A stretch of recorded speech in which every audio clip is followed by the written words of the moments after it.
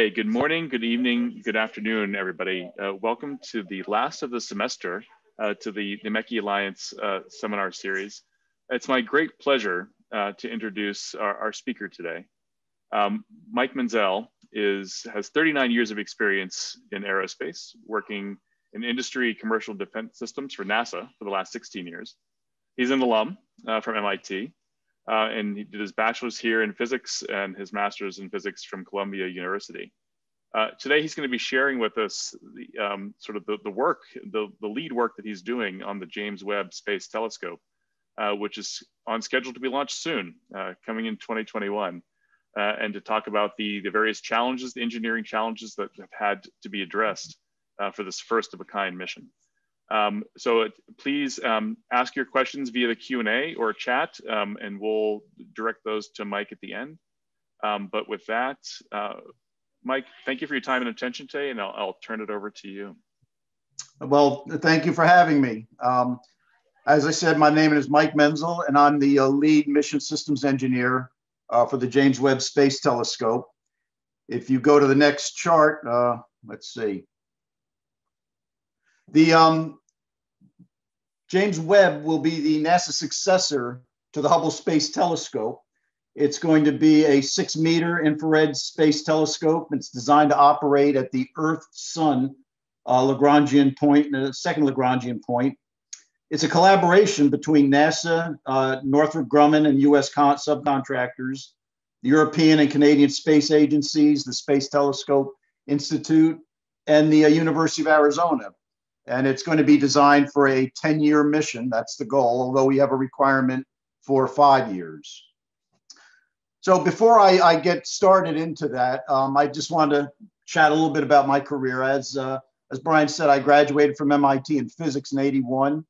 Uh, I was hired as an antenna engineer at RCA Astro right after I graduated. And it turns out that RCA was acquired by General Electric and became GE Astro. And uh, for the first um, nine years of my career, I uh, ended up working on uh, five flights, which was quite a you know quite lucky for me. Uh, a lot of folks that go to directly to NASA don't get that um, don't get that opportunity. Uh, I received my MS in physics from Columbia University. RCA sent me to school uh, to for and sent me to school at Columbia. I told them that hey, I want to be a radio astronomer, and by becoming a radio astronomer, that would make me a better antenna engineer. And uh, well, they believed it. Um, I took a new position in systems engineering at GE Astro in 1990, and that was acquired by Martin Marietta, which was consolidated in Lockheed Martin. So I worked for you know uh, four companies without really changing my seat. I, during this time, I was an adjunct lecturer at various colleges in New Jersey in astronomy, math, and physics. And frankly, aside from engineering, I have a I have a love for teaching, and um, I, I, I, dream of perhaps retiring and doing that. After the, uh, um, the plant that I worked in in New Jersey closed down, I took a position with Orbital Sciences as the director of systems in 1995. And then I went back to Lockheed Martin in 97 as a uh, deputy program manager for the Hubble Space Telescope servicing missions. Uh, those were the, uh, we trained the astronauts on how to service Hubble. Uh, Lockheed appointed me chief engineer for what was called the Next Generation Space Telescope, Phase A study and proposal efforts in 98. And then in 2004, NASA asked me to be their mission systems engineer for what, what became the James Webb Space Telescope. And that's where I've been for the last 20 odd year, for, for the last 16 years. And I've had the great opportunity to be able to say I've been working on this job from womb to tomb, which, uh, which has uh, a lot of advantages. So the next chart, now I'm going to start talking. I'm going to walk you through the James Webb Space Telescope from the eyes or the perspectives of a systems engineer. And what do systems engineers do? Well, we we look at the mission itself. In this case, we look at the science objectives for the mission, and we translate those into mission requirements, into a, a formalism that engineers can understand. After we write the requirements, we design the system, and that usually encompasses a lot of analysis or a lot of trade studies to define what each of the different segments or elements have to do. And while detailed engineering is being done to design those, systems engineers are usually putting together models of the system to, uh, to look at its performance. We'll be assessing uh, risk, and that uh, matures into certain technology development. And then finally, once the system is all built and put together, we have the important job of making sure that the as-built system is worthy to fly, and that's verification. So I'm going to walk you through each of these phases for James Webb. The first phase, the science of James Webb, back in 95, uh, Hubble, uh, shortly after Hubble was up, scientists started getting together and asking themselves, what should the successor do? And there were four science themes that were developed for this future observatory. The first one was uh, they wanted to see what the very first stars in our universe look like. As most people are familiar with, scientists believe the universe formed about 13.8 billion years ago with the Big Bang. And you know, shortly after that, in cosmic time, which is about you know 300 million years, the first stars are thought to have turned on. And we want to see what those first stars were. They might not have been stars at all. In fact, some astronomers think that they might have been uh, these black hole, high energy black holes. But at any rate, we want to see them. The next thing astronomers want to look at is how galaxies evolved over the course of cosmic history. We know that galaxies near our own Milky Way, which are relatively, you know, the same age as the Milky Way, look like the galaxy up in the upper right, either spiral galaxies with a lot of order to them or maybe elliptical galaxies. At any rate, the morphology of these galaxies are pretty orderly. But when we look farther back in time, when we look farther away, the galaxies look weirder and weirder. They look more amorphous, like that picture that I show on the right. So we want to see how the galaxies evolve from those amorphous blobs into the orderly uh, ensembles that we see today. Next, we want to look in our own Milky Way galaxy and see how stars are born. And there's a, a lot of exotic stuff that goes on during that birth, one of which is uh, sometimes we see these jets coming out of the uh, where the star is actually being formed. And next, astronomers wanted to see how um, how planetary systems may have evolved and uh, how, how the uh, uh, origin of, of uh, organic type species, uh, like um, you know oxygen or, or carbon dioxide or things like that came to be. So these were the four themes that they wanted the telescope to, uh, to address. And this was in 1995, but over the course of, you know, 20 odd years, there's been a couple new science questions, the most prevalent of which is to study exoplanets. The first uh, planet around another star was actually found around a pulsar, a very exotic object that represents the death of a star. And that was in 1992, and it was based on uh, timings from those pulsars. But then in the same year, the first exoplanet was discovered around a regular star, a star called 51 uh, Pegasi. And that was based on radial velocity measurements. They actually watched the, uh, the gravitational wobble that the planet put on the star itself. But then in 2002, the first exoplanet detection was made by the transit method. And that transit method is, is very, uh, it's actually very neat and very uh, easy to analyze. The planet itself does a little eclipse uh, past the star. And as it does such an eclipse, there's a very characteristic light curve, a dip in the light from the star. And if astronomers look, start monitoring these dips, and they happen regularly at periods of around, you know, a couple months to a couple years, they get pretty sure that that's a planet. And based on that method today, we know of 4,000 planets around other stars. And it turns out that now that we have this new area of research, James Webb should be able to provide detailed examination of these exoplanets and may be able to detect biomarker signatures, spectral signatures around these objects that may indicate the presence or you know, the presence of life that is a big if among uh, among astronomers. But uh, personally, I'm I'm very hopeful that that it will be able to, to do such such a thing. Okay, so as a systems engineer, we now know what James Webb does. We talked to the scientists, and they've talked back to us, and so now it's time for the engineers, system engineers, to start translating these science needs into into requirements that engineers understand. So we have the, the science, the science objectives, investigate the early universe at high redshifts, um, investigate star birth, look at first light objects, observe galaxy morphologies and exoplanet observations. So what does this mean to uh, for a system? Well, this translates into the following top level requirements. We're going to want to do imagery and spectroscopy, and we're going to want to do that in the infrared wavelengths. Unlike Hubble, which sees in the ultraviolet and visible, to see in the early universe, we have to look in the infrared. Uh, most of the first light objects, when stars are born, they uh, emit a lot of ultraviolet radiation. But that short wave ultraviolet radiation from the early universe has been traveling maybe 13 billion years through a universe that has been expanding. And by time that light gets to us, its wavelength expands from being ultraviolet to infrared. Next, if we want to see these objects that are almost by definition the farthest objects there are to see, they're going to be very dim, of the order of a, of a nanojansky. And if you want to know what a nanojansky is, well, I could tell you it's uh, a Jansky is 10 to the minus 26 watts per meter squared per hertz. And if that doesn't float your boat, maybe a more concrete way of saying this is uh, take a child's nightlight, put it on the moon, and look at it from the Earth. And that nightlight will appear to be about 20, nano, 20 nanojanskys in brightness. So that's what that's the type of thing that we're looking at and that will demand high light collection. You're going to need a big telescope. But more importantly, and I'll, I'll make this case in a minute, you need low noise levels. You need to have very low stray light. And we'll want to look at these things both in the near and mid infrared wavelengths.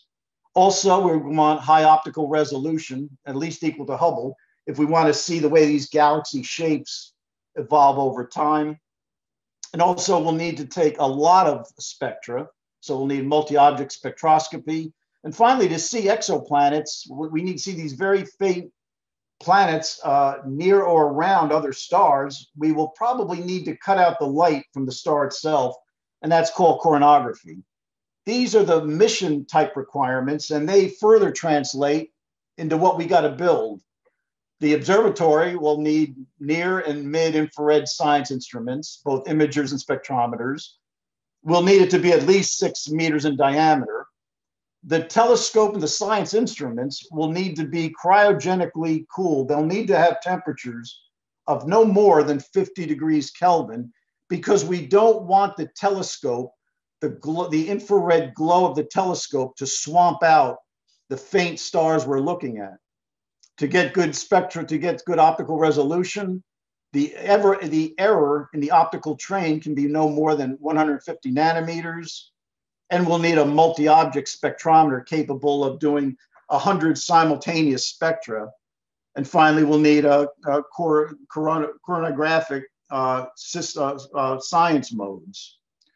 So this is how we systems engineers translated science into requirements.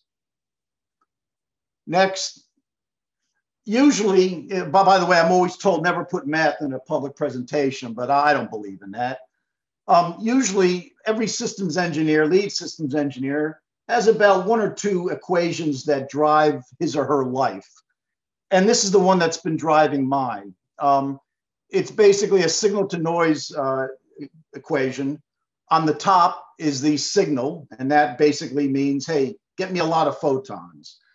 But what's more insidious for this mission is the bottom. And that's where you have the variance of the noise contributors.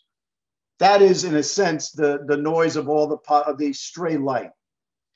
And I use this equation to demonstrate to managers and others what the key drivers for this mission is. And one of the key drivers, this equation can be used to, to point that out very quickly, is not so much the aperture, which we all know has to be at least six meters. That's easy. The more insidious parts are the noise control, the stray light. And to demonstrate that, I use this equation to show managers and others what, what it is we're going to be looking at. This chart shows uh, pictorially what a uh, 10 nanojansky point source would look like if you did an exposure for 10,000 seconds. And to me and to most of the managers I show this to, it's as clear as mud. but the point source is there, right in the red circle. And the problem is, in order to see it, you have to subtract out the background. And the background for these faint sources is almost equal to the source themselves. And you know, we all know the challenges of getting statistical certainty from the subtraction of two large noisy numbers. It's very hard. So what this tells people and what it, it tells systems engineers right away is, look, one of the real tricks to James Webb is controlling the background and controlling the noise sources make them as small, make those sources as small as you possibly can. And that's been one of the challenges of, of this mission. And by the way, that is also the, you know, the key driver that says the telescope and the science instruments have to be no greater, have a temperature no greater than 50 degrees Kelvin.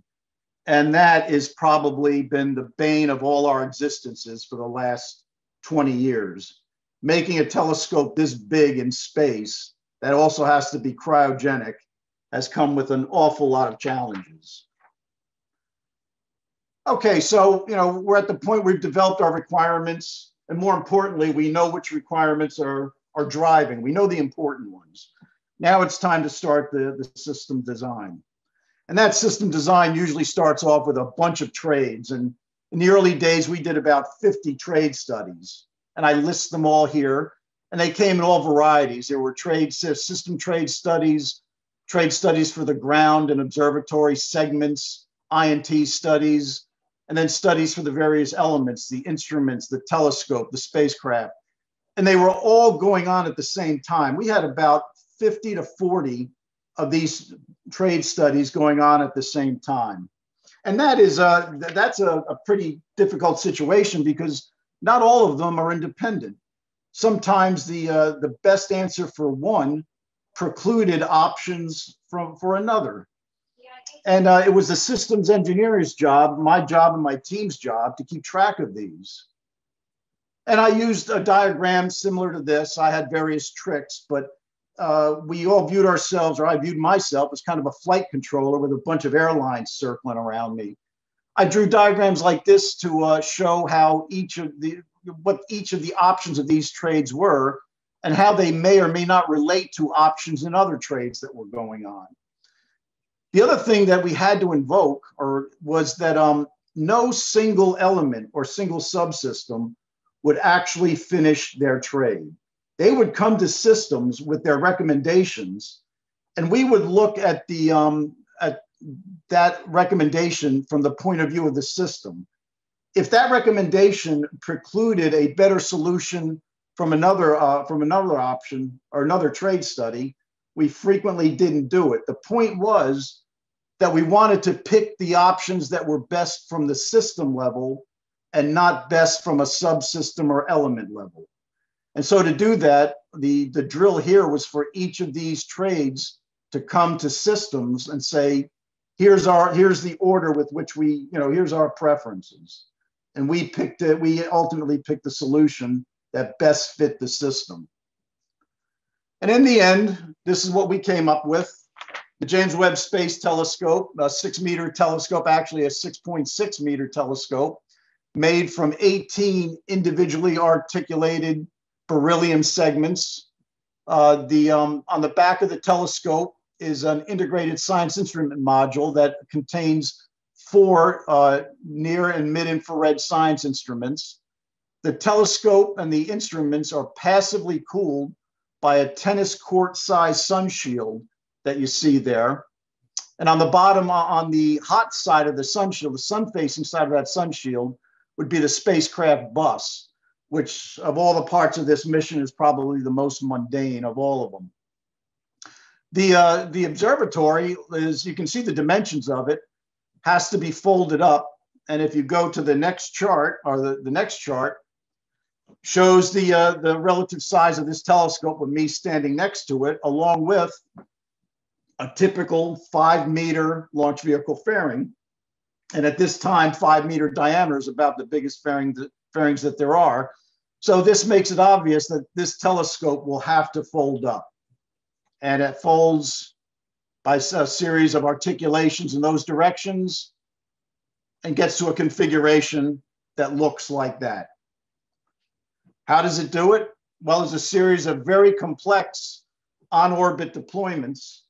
Uh, first, two structures that we call unitized pallet structures that actually hold the folded up five membrane sunshield fold down. Then two telescoping booms called mid-booms mid-boom assemblies telescope out from the side and pull the membranes out. After they pull out, we have a tensioning system, which is essentially a, a series of motors and pulleys that pull each of these five layers taut.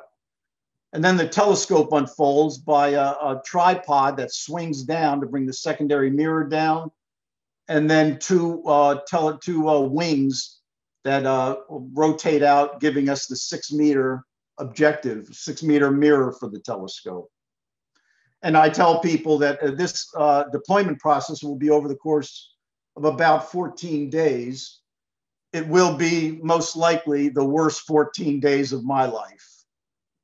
Um, at any rate, that's how we fold it on orbit. Aside from the telescope and the observatory, which has was the real um, focus of most of the major trades, because it's where the most of the new stuff really is. As a systems engineer, we also have to design the architecture. And the first thing we want to do is, uh, hey, what ground system will we use? Well, we'll use the same ground system that exists, the Deep Space Network and the Telescope Science Institute at Johns Hopkins. The launcher will be the Ariane 5 launcher. It's actually a donation from Europe, a donation in kind. And in return, we allow, we uh, are flying um, two, sci- two European science instruments. The launcher will put us in a direct path out to the uh, Lagrangian point, and the Lagrangian point is about a million miles away from the Earth, four times farther than the moon. On the way out, we will do the unfolding that I talked about. And during that unfolding period and the commissioning period, we'll be in constant contact with the, with the ground segment 24 7. After we fold out, we'll coast out to the L2 point and assume our operational orbit. And uh, then we'll start our five year mission. Now, we the requirement is for a five year mission, but we have fuel and consumables to fulfill hopefully a 10 year mission.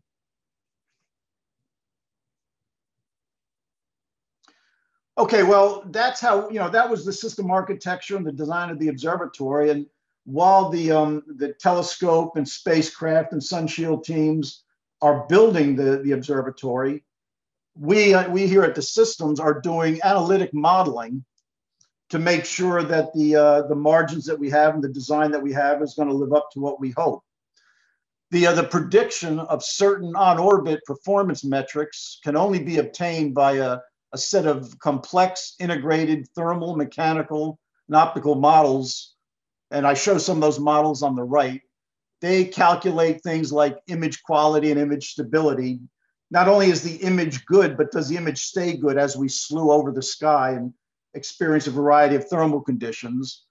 Uh, we need to make sure that we have the right on orbit temperatures and the right cryogenic margins to give us the cooling that we want.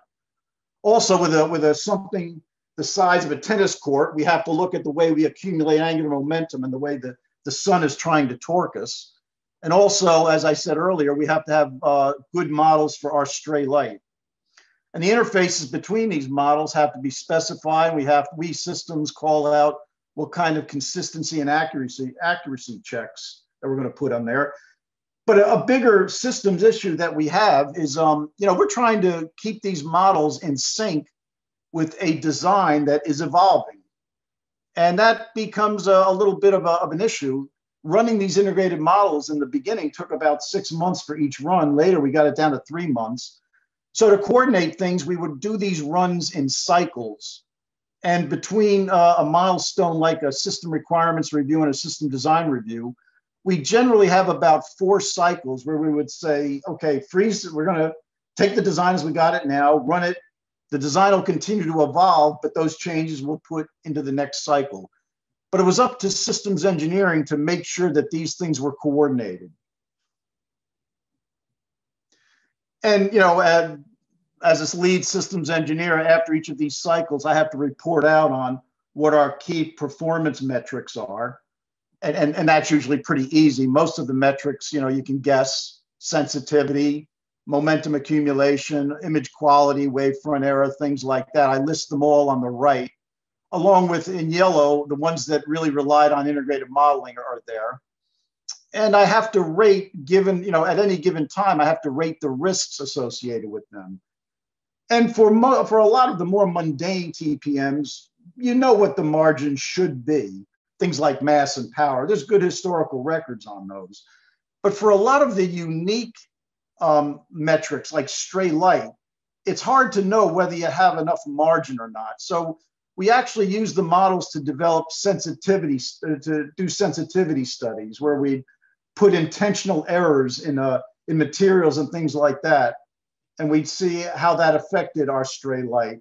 And based on that, we formulated how much margin we thought we needed at each part of the program. And those margins represented what we call reaction limits, where if we thought, fell below them, we'd know we'd have a problem. And I'd rate that as a yellow on the bottom. One of the other aspects that goes on, and this goes on uh, from the very start, is technology development and risk management. Um, early on, when we started this, we knew that the Webb telescope would be radically different from anything that's ever flown. So we looked at developing right up front what some of the key risk areas or technology areas were. We knew we had to have high efficiency infrared detectors.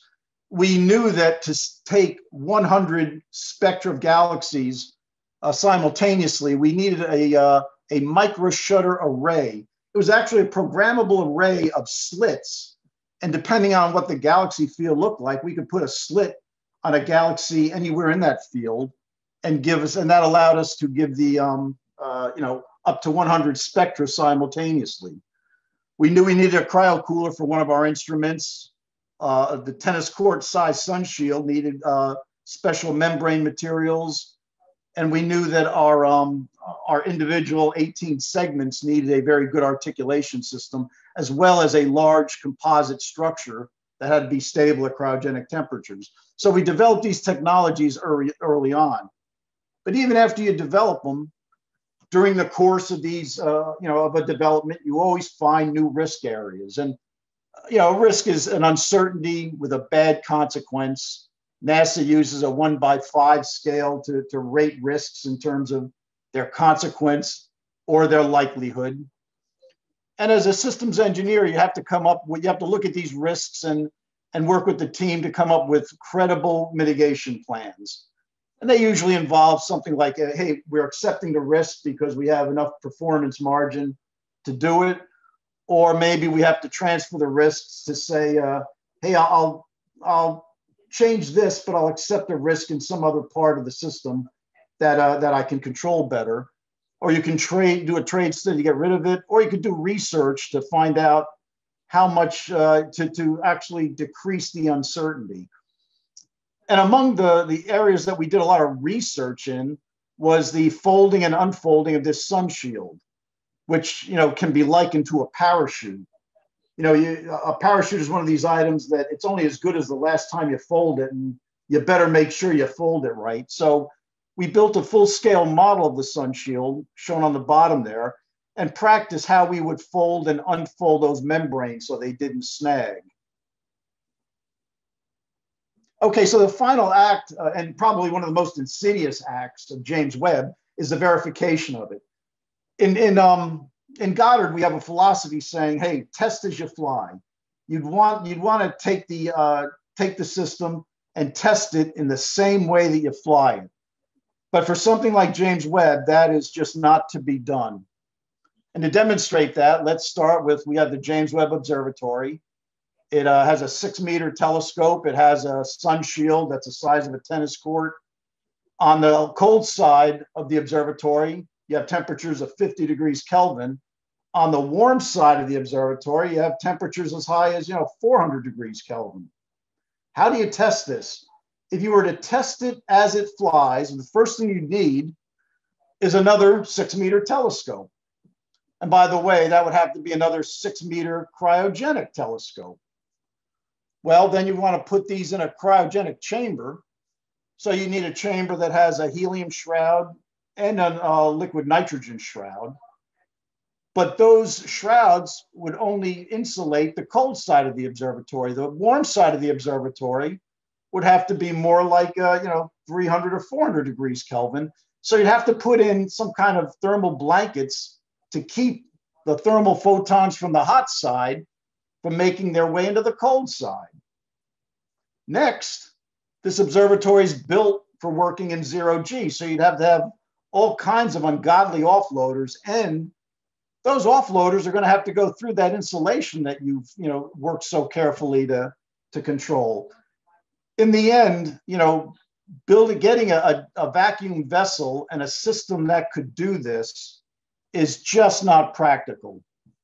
So testing this as you fly is just not in the cards so we need a verification program that relies on analytic models and these are the same models that we use to design the observatory. But the trick now is we have to make sure that the models are anchored or correlated to the as-built hardware. So we correlate, we would do tests for the, um, the spacecraft separately and tests on the, uh, on the telescope separately. We correlate their models, make sure that they, uh, they actually, the models actually predict the behavior of these things we integrate the observatory together, the model of the observatory together, and use that to predict the on-orbit performance. Now, we still do observatory level tests, but those tests are, are focused more on verifying that the thing was put together correctly, the workmanship is right, and that there are certain behaviors of critical interfaces that are not included in these other models. So we focus on those. So, you know, we adopt this kind of verification method for a large observatory like James Webb. And finally, I'll just close up where the, with some baby pictures. Where are we right now? Well, the telescope has been integrated for the final time to the spacecraft. And there, this picture shows the, the, the, the telescope, the OTE mounted on the spacecraft with the sun shields fully deployed and tensioned. This next picture shows the telescope deployed. I don't have a picture with the secondary mirror deployed, but you can see the picture of the, uh, of the two wings along with the full aperture of James Webb. Next, after that, we folded everything up, put it in its launch configuration, and sent it over to for vibration and acoustics testing. And it, it successfully passed the vibe test as well as its acoustics test. We send it back and after this, we're going through our final deployments test right now. There's um, this picture shows the deployment of the uh, of the forward uh, UPS. That's the panel that holds the the folded up sun shield. And this last picture shows uh, where we are right now. Right now, we've just deployed uh, the uh, those mid the mid boom assemblies that'll come out and now we're going to start the, uh, the final testing of how to tension the flight sun shield. So just some closing thoughts for me. It's been a long ride for me, but it's been, this is probably the job I've always wanted. Not probably, it is. Um, first, you know, it's just some closing thoughts. When I was a young man, when I was a teenager, the largest telescope on Earth was Mount Palomar. It's located in the hills of San Diego. It has a massive primary mirror that's uh, five meters in diameter, and it weighs about 545 tons. And when I was a young man, you know, as a teenager, I wanted to be an astronomer and I wanted to work on Mount Palomar. I would have never dreamed at that time that I'd be lucky enough to be on a team 50 years later that's building a telescope bigger than Mount Palomar. And it's not going to be located in the hills of San Diego. It's going to be located beyond the moon 1.5 million kilometers. And uh, well, it will only weigh 6,310 kilograms, one one hundredth of the Palomar telescope. So in summary, uh, the James Webb Telescope will be one of the premier astronomical tools of the next decade and will address some of the most fundamental areas of astrophysical research. Uh, first stars and galaxies, star formation, solar system evolution, and it may actually get to uh, detect or uh, start to investigate habitable exoplanets. It's truly a first of its kind space observatory. It's offered the systems engineering team some very unique and difficult challenges. Uh, cryogenic design of a large space uh, observatory, complex on orbit deployments, and verification by analysis. It will rewrite the astronomy books and also the engineering books of future space observatories. And finally, um, I consider myself very lucky to be a part of this team and this program. And it's to have the pleasure of sharing our work with you today. And that's uh, that's it for me. So I'm ready to take any questions or comments that you might have. Thank you for, for your attention. Mike, thank you. I, I send you the, the, the physical and the the virtual uh, applause. Uh, thank you for the the phenomenal discussion and, and for phenomenal work. Um, I feel lucky to have heard your your words and your your sharing today. Um, well, we have a number. Of, we have absolutely. We have questions from the participants, and I will um, shepherd those your direction, Mike. Uh, but let me just sort of kick off um, a, a, question of my own. Uh, I, I, think I'm fascinated by the, the software tools, the analytic tools, as you said, uh, for the system verification. I wonder if you could just say a few words about how those same system so software systems are used in the operations. You know, once you have the as-built system out there, uh, are, are those same tools then used in the control, interpretation, um, sort of tweaking, if you will, of anything that can be tweaked? Or how does that work together after it's uh, in the sky? Well, yeah, it, it turns out, Brian, that, that that's, uh, you know, some people may say that I'm trying to uh, cling on to my cling on to my position, but right now I'm discussing with our engineers right now exactly how to do that. And um, one of the things that I'm trying to do is uh, uh, make sure that we we NASA have efforts that will uh, uh, tweak those models based on our on-orbit performance, not only so that we get, uh, you know, we can use them as diagnostics for any problems that the telescope might have, but also to find out how far off we were on guessing uh, how much margin we should have actually had. You know, we, we use these models, we nicknamed um, our model uncertainty factors, our MUFs and uh, we've taken some good, you know, we've tried to take our best estimates on how much MUF we should use on certain mission unique things like um, uh, image stability or, um, or, or, you know, thermal, cryogenic thermal margins. So I want these models to actually be used, uh, be tweaked for infl- using in-flight data to find out how much MUF we really should have used. Um, for the most part, the, the, after that, the primary source of the models will be uh, in case we have to do any kind of on-orbit diagnostic or you know problem solving. So that's the, the primary area where, where we're going to be focusing, where I want to focus our modeling attention post-launch. Very good. Thank you for that. Uh, let me start with taking some questions. And, and participants, thank you very much for the questions. We will not get through all of them, but let me try to um, pick and choose a, a few to address some common themes. Um, Mike, a, a, maybe a, an easy one to kick you off with. Um, when you look at a star in a faraway galaxy, are you looking back in time or, or forward in time? Oh no, no, you're looking back in time. Um, you know, I have a whole set of charts for this, but uh, you know, when when when you look at the sun, for example, which I wouldn't wouldn't you know add, wouldn't, wouldn't recommend, you're seeing the sun not as it is, but as it was eight minutes in the past. When you look at some of these near galaxies, to the Milky Way, you're seeing them not as they are, but as they were, you know, some of them 65 million years ago when the dinosaurs roamed the earth. So you're always looking back in time. Very good, thank you. Um, so this is related to, um, you know, potentially a mission out to the to the telescope. If the cry, the question is, if the cryostat has only a five-year supply of cryogenic liquid, presumably liquid helium, um, will there be a, a resupply mission or at the five-year mark or, or beyond? Well, first, there is no cryostat. We have a cryo cooler. So we're not limited. We are not limited by cryogenics that way. We have a cryo cooler, um, but we are limited by our fuel. We have 10 years worth of fuel there. And there are, there, there are concepts for putting a refueling mission out there. Right now, you know, the concepts, in my opinion, are, are very conceptual and I wouldn't be counting on them.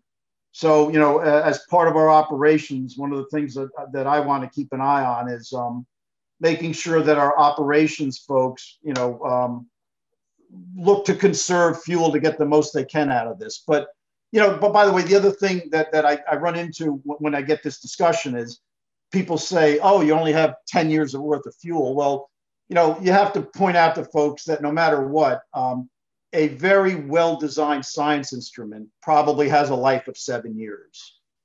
So even though that you know, even though I say we're limited by fuel, let's face it, by 10 years, and and I also want to point out right now, uh, our fuel reserves are such that depending on our launch dispersions, how much fuel we have to expend to, to correct a launch error, we, we, we'll be out, we have enough fuel for 15 years. But it's very doubtful that the instrument that all the instruments will last that long. Very good, thank you.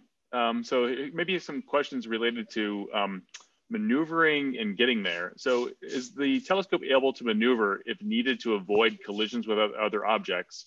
And the parentheticals, how much time is it going to take to get there and get running? Yeah, um, let's see. First, getting getting there, getting out to the L2 point is easy. That takes about 30 days. But to gently fall into the uh, kind of pseudo gravity well of a Lagrangian point, that won't happen until about 180 days. But we'll be out at that distance at 30 at, at 30 days. Um, as for hitting stuff, uh, it would be an extremely unlucky bad day to hit anything. So we're not we're not using our fuel to avoid collisions that that's not the issue. We are using our fuel to stay in orbit around the L2 point. Uh, for those that might have taken, you know, some of this physics, the L2 point is what we call quasi-stable. If you don't do little gas, uh, little uh, delta V's, you will you will fly away from it. So we do a, a, delta V maneuver once every about 21 days, 22 days, just to keep the orbit stable in that. And um, I, I, does that answer all the questions for that, Brian? I, th I think so. Yes. Thank you. Okay. Um, another maybe pairing of questions related to the sort of light. Um, one question is: um, Is this telescope able to adjust for the light around the stars, the zodiacal uh, light around stars? Will that be left to the physics researchers? And sort of the common, the other question is: How is stray light um, dealt with? Um, is it verified through analysis? You know, so how, how is the imaging done? I guess maybe is the the, the higher level question? Well, well, well, actually, those are excellent questions. First, the stray light levels are done through through analysis. And what we do is um, we put various shielding around the telescope to avoid certain stray light paths that might come in. And that analysis is notoriously complex.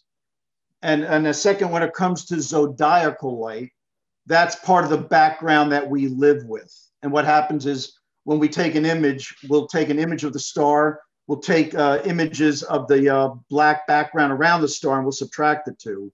The zodiacal light is part of that background. And to put that in perspective, uh, we've, uh, if we had no contributions of stray light from the telescope, you know, glint or whatever, for every photon that we get of near infrared signal, we get three photons from the, um, from the zodiacal light. So we, we deal with zodiacal light by subtracting it out. And it is, it is, it is a very big contributor to stray light. Very good, thank you. Um, I think this next question is maybe the thing that you said is going to be the most stressful uh, days of your life. Um, can you tell us a little bit about the mechanism that will bring the six hexagons that fold the mirror uh, into perfect alignment? Well, actually, they're um, each each of the first that that is that that's the least stressful part of my life because there's redundancy in that right? For instance let's say one of the 18 segments just can't work. We can find a way to work around that and still get our mission. But um, for the individual uh, individual 18 segments we have seven cryogenic mechanisms behind that seven degrees of freedom. They those cryogenic mechanisms um, will uh, adjust um, the three translational degrees of freedom, three uh, rotational degrees of freedom, and a seventh that will actually give some limited shape change to each of those 18 segments.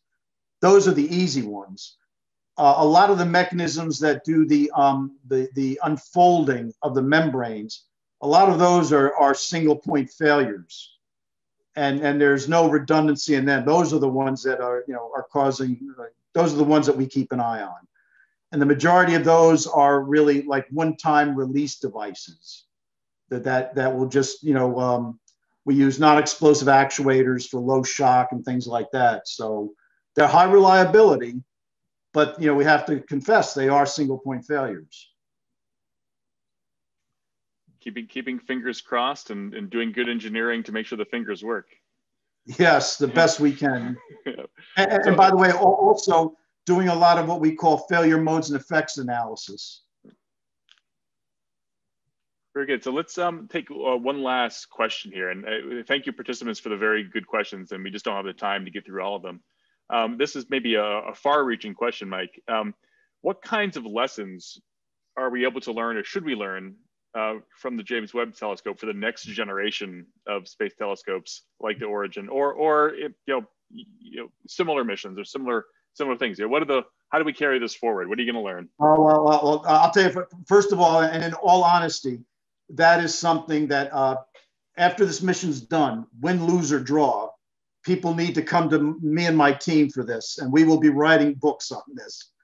Um, I've got a lot of, uh, I, have a lot of suggestions, but uh, one of them, you know, there's a lot of things on this observatory that could qualify as a gossamer structure. A lot of the, you know, dealing with things like um, the sun shield membranes and the way they unfold they're, they're highly non-deterministic. And we've, we've learned some very valuable lessons. I don't have time to elaborate on all of them here, but we've learned some very valuable lessons on the kind of inspections or the type of precautions you could do in, um, in unfolding and folding these type of gossamer, gossamer structures. I think of all the lessons that, that I've you know accumulated in this, those would be the area, that'd be the area where I would I would want people to come and talk to me about this. We've learned some definite do's and definite don'ts. The biggest one we, we, we can learn, you know, we did learn is, hey, you know, make sure you build um, full scale models of these gossamer structures and really make sure you understand how they behave. That would be that would be one of my one of my bigger lessons uh, on this. Uh, I have a bunch of others that, that I would suggest, but I don't think anyone would trump that one. Oh, very good. We, we should. It sounds like we should also do a documentary, you know, on, on your experiences in the team and the and the telescope, just to make sure that the the lessons are captured. And I'm sure you have more more lessons than you can enumerate um, and think about it uh, right now. Oh, we we, we, we surely do. So I, I, think with that, Mike, I, I want to again thank you for your time and for leading this phenomenal work, and thank you to you and to your team, uh, and for joining us today. And for uh, participants, thank you for for joining and and, and asking your questions. Um, and this will be the last uh, seminar for this semester. Um, this is um, so you know Mike gets to give the send us off to the holidays. Um, and so we, we, we are looking forward to welcoming you, you back in, in 2021 in our continually evolving new normal. The MechE Alliance Seminar Series, as you know, is our way to engage with our on-campus and off-campus partners and community uh, to be able to bring to you speakers um, and discussions that are of interest to you. Um, so please, if you would like to nominate yourself or your colleagues or others, do drop us a line. Um, and we will be soon sending the uh, a list of all of the various uh, speakers that we'll be having in the in the spring semester. Um, but it's not full up just yet. Um, so please drop a note to, to MechE Alliance at mit.edu and, and we will work with you and your, your nominee to, to join us. Um, and I think with that, everybody stay safe, be well. Mike, again, thank you to you and your team and to phenomenal work. And I, I look forward to uh, seeing images and, and, and following the, the, the telescope as it's deployed. Um, and well, thank you, thank you for, for having me. It's my pleasure. Thank you. Thank you, Very Mike, and, and thank you to Peter in the background from NASA from help, for helping get the arrangements together today. Um, so great support. Have a great night, everyone, or day. Stay safe, everybody. Stay safe. Be well.